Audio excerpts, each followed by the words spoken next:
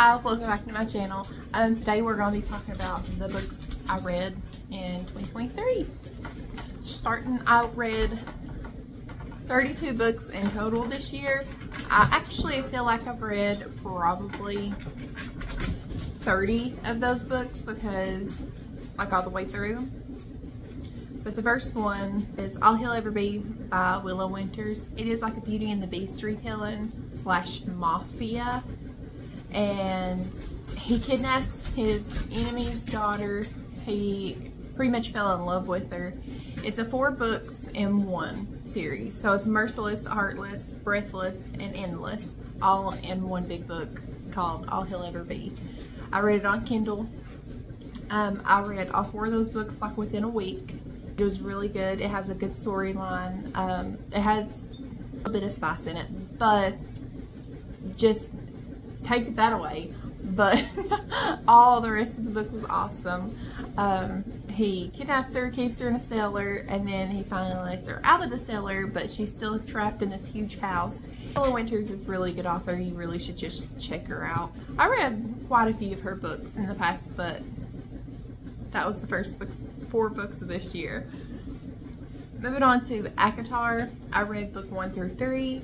Book one, I gave a, a four stars. I really liked it. I liked, um, like anybody, you fell in love with Tamlin, and something just didn't feel right whenever I was reading the first book and everything, and then I read book two. Obviously, book two is my favorite, and I, that book two got a five star. Um, and then I read book three, which I gave a 3.5. I, I didn't finish it. I liked it, but I don't think I'll be continuing the series. I just love the Anywho, so I don't think I'll be continuing the series, not because it isn't a good book, not because it isn't a good series. I just felt like it really wasn't for me. But you never know. I might eventually finish it because I hate leaving book series unfinished. It starts with us by Colleen Hoover. I gave that a four stars. It was book two with us. I loved that one. And that was book one of the whole series. And I waited months and months and months for It Starts With Us to come out and I was a little bit disappointed. I felt like it could have been better, but Beyond the Wand by Tom Felton. I gave this one a five stars. It, he talks about his life on the Harry Potter set. He talks about his life in general. But I loved this book. If, this is like one of the first autobiographies. I guess that is technically what it is. Um, memoir. I loved it so much. Which we love Harry Potter. We love Tom Felton. the pink foiling. I read all through this within the first day that I got it. I gave it a five stars. I really like it. I really recommend it. He actually puts pictures in here. Emma Watson. And him and Emma Watson. I can't remember what it was. I think they called each other rubber ducks or something. So, like, it's just a sweet book. I recommend it. But I read Forget Me Not by Willow Winters. This is like a psychological kidnapping old best friends kind of book. I guess that's kind of what it's called. So when she's when the girl was little, she got kidnapped by this boy's father. And, you know, things happened. And he helps to get her set free. Well, later on in life, that same boy comes back and he kidnaps the same girl and he has split personality disorder. And I was really confused throughout the whole book until about 70% through. And then I realized that he has split personality disorder. This isn't two people that I'm that's going on in the book, it's one person. Willow Winter says that this is like her favorite book that she has ever read or ever written. And I can understand why, but I was a little bit confused. But once I understood, I understood and then I liked it. I gave that one a three stars. Moving on to Birthday Girl by Penelope Douglas. This one was a good one. It's a little odd. It has age gap, boyfriend, or dad falls in love with son's girlfriend, and son's girlfriend falls in love with boyfriend's dad. um, it's a little bit of like a forced proximity, touch her, I'll kill you kind of deal a little bit. It's good. I liked it. I felt like it had a good plot. Um, I feel like I also, it could have been, they could have fell in love faster. It kind of drug on a little bit. Too much for me. I got that one a 3.5 to a 4 stars. I read the two books out of the Twisted series, Twisted Love and Twisted Games. Twisted Love, I gave a 3.5. I felt like it didn't have enough plot. Um, I felt like that one was, I don't know, more drive towards like spice in a way instead of like a plot and you've got to have a plot. Or just don't I don't know. I don't care too much for spicy books so I like a plot. It didn't have a plot. Then I read Twisted Games and that's the second book in the series. I gave that one a four stars. I really liked it. And this one follows a girl who falls in love who's princess her name is Bridget. I always thought was really cute, so all throughout the book, I was thinking, oh, her name is Bridget. My name's Bridget. So, um, but she falls in love with her bodyguard. They're not supposed to fall in love. Um, she fell in love with him first, and I think he fell harder. I think that might be how it kind of was. But it was really good. I really liked it. Then I read one of my most tabbed and annotated books, yet the most boring. It was a disappointing book.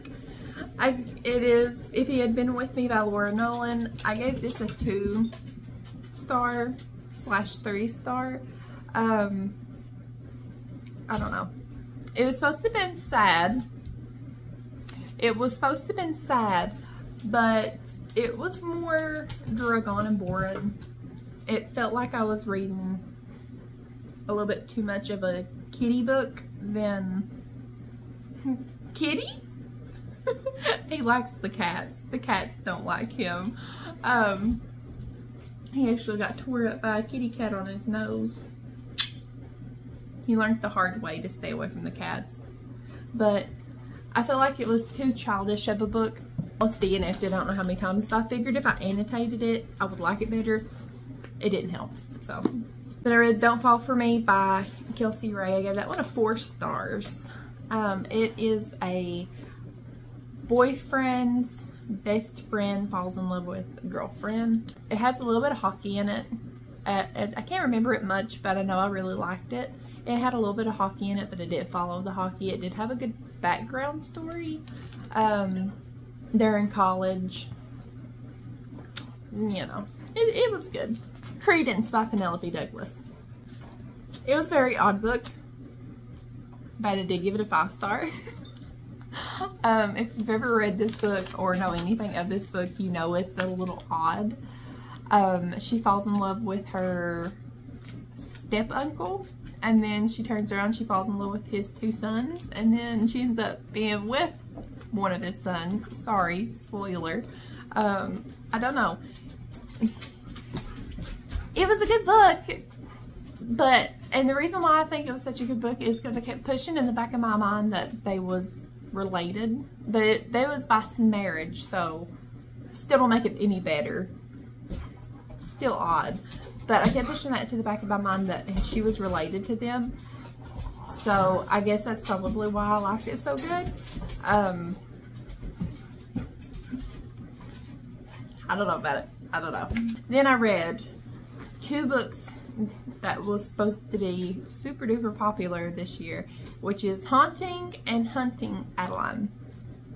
I gave them both a 3.5. I'm combining the two. Um, I read all of book one and then I've read half of, about 70%, 60, 70% of book two. Just a bit much. If you know, you know. I don't know. But I ended up having to stop reading those. The Housemaid by Freida McFadden. McFadden? I gave that one a six star. That's one of my six star ratings. That is one of my top three of the whole year. Um, if not my main top book of the whole year.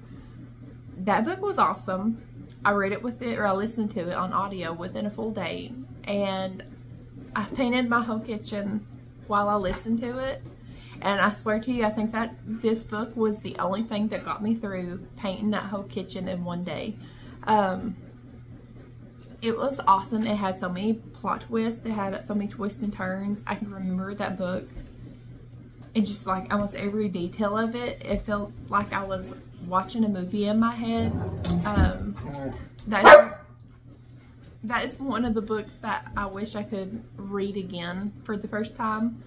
It was really good. I really highly, highly, highly recommend it. Punk 57 by Penelope Douglas.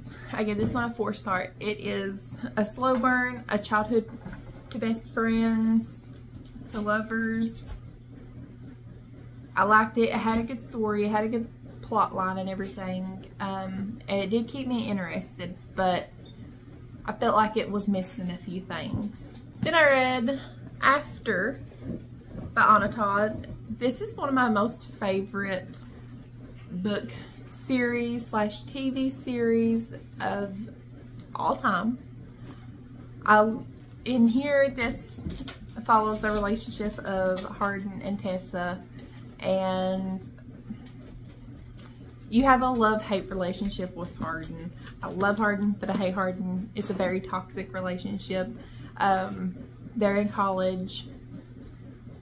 It's just something you need to experience at least once. Um, I don't know. It's just like they're. It's one of my most favorite series of all time.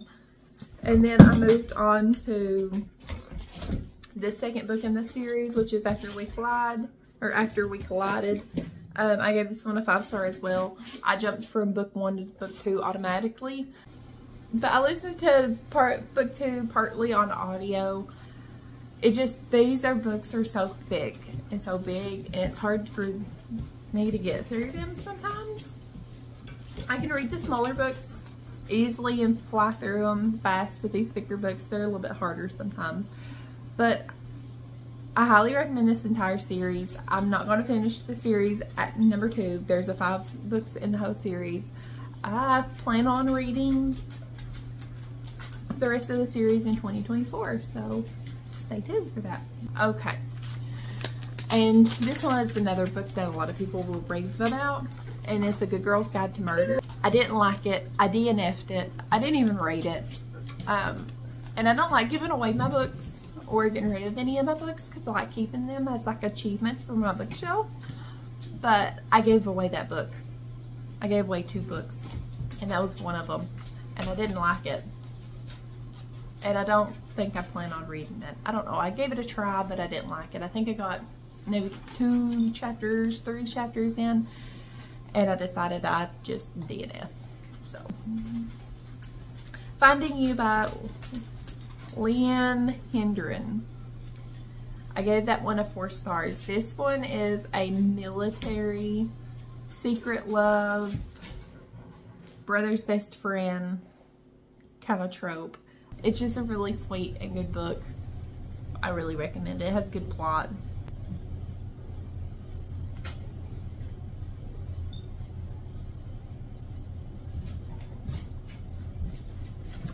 Then The Silent Patient by Alex, whatever his last name is. um, I gave this one a 3.5. I liked it, but it was a bit drawn out. It was good, but kind of guessed the ending and it kind of ruined it for me. And the third most top highly rated book of the whole year is A Thousand Boy Kisses by Tilly Cole. I gave it a six star. It is the saddest book I have ever read. I don't ever want to read a book like that ever again in my entire life. but it's the best book I've ever read, I think, about so far. The plot and the backstory and the falling in love and everything like that was beautiful. But it is a very sad book. The girl ends up dying. Um, he vows to never love again and he doesn't and this book was just so sad that I had to take a break because I was bawling my eyes out so bad. And I was like, maybe, and I cried throughout the whole book kind of, but towards the end, about the last three chapters, I had to stop because I was sobbing so hard I couldn't breathe. But it was just an awesome, awesome, awesome book. That's one book I would love to have read again for the first time. But all at the same time, I don't never want to read anything like that ever again. Reminders of Him by Colleen Hoover. This one is a little bit of a sad book. Um, it had good plot. I don't think about it. I kind of can't remember everything that was in it. I don't know if I would recommend it, but I did give it a 4.5 stars. So it had been super good for me to get a 4.5. I read The Sweetest Oblivion by Danielle Lori. It had great plot. Is enemies to lover, a grumpy sunshine, mafia, forced proximity slash forced marriage. She fell for him, but he fell harder. You touch her all, you kind of vibe to it. I gave it a five star. It was a really good book. Um, it had some good plot and everything to it. I feel like everything was well written out. Welcome to the Dark Side by Giana Darling. I gave this one a five star. This is a biker club, age gap, touch her, I'll kill you. She fell first, he fell harder kind of book as well. I've finished this one like the last week of December. I loved it. It's awesome book. It just, I don't know. I really like it. I really, really recommend it. Not a lot of people would talk about that book, but I would, I will rave about that book. It was awesome. Awesome. Then I read The Island by Natasha Preston. I lended this book to a family member to read. I would have kept the book. I loved the book. I love Natasha Preston. I've only read two books from her ever, but I have almost all her other books besides I think like two or three. Um, it was mystery thriller. It has a lot of twists. It had me guessing the whole time, and I do recommend it. This is where it ends by Marky Kemp. I think that's how you say his last name. I gave the book of two stars. I wanted to DNF it, but I pushed through, and I felt like I kind of just was just staring at pages for the longest time. It follows a school shooting, and it was sad, but I did not like it. The Cellar by Natasha Preston. This is the second book I read. This has kidnapping, psychological thriller. I still think about it. Um, he, this man kidnaps these four girls and he names them after flowers and he keeps them in a cellar. And he's like a germaphobe. It was really good though.